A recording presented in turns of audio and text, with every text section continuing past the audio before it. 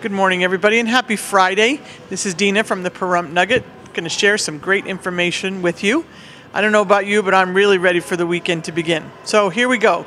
What's happening tomorrow night here at the Nugget is pretty exciting. We have the Spring Fling Cowboy Thing to benefit the Pahrump Valley Arts Council.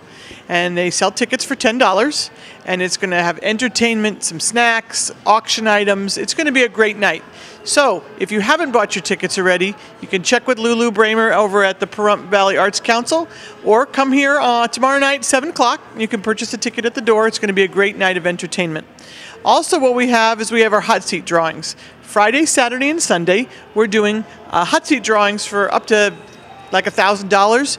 You beat a machine, you play, you stick your card in, you too could win money Fridays, Saturdays, and Sundays. We also are giving away a car this month. It's a Kia car, it's out in the front if you want to take a look at it. And how do you earn a ticket for that? Every time that you earn 100 base points, or if you play for half an hour in the pit or the poker and you are a logged player, you're going to get an entry. And at the end of the month, on the 31st of March, uh, the team will draw your name to win the car that's out front. So come and take a look at it. New car, can't beat it, right? Okay, also, I want to talk to you about the fact that we have our anniversary celebration coming up this month. Nugget's been here a long time. How do we celebrate?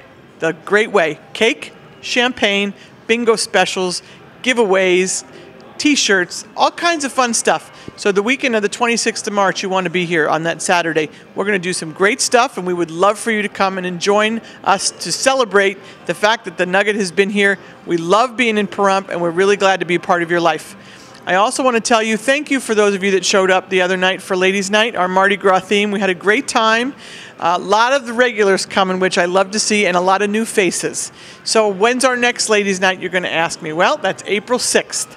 And on April 6th, which is our first Wednesday of the month, it's Urban Cowgirl theme. So you put on your boots, your flannels, your hat, come on down. We're going to have a great time. Uh, party, prizes, fun, music, the place to be.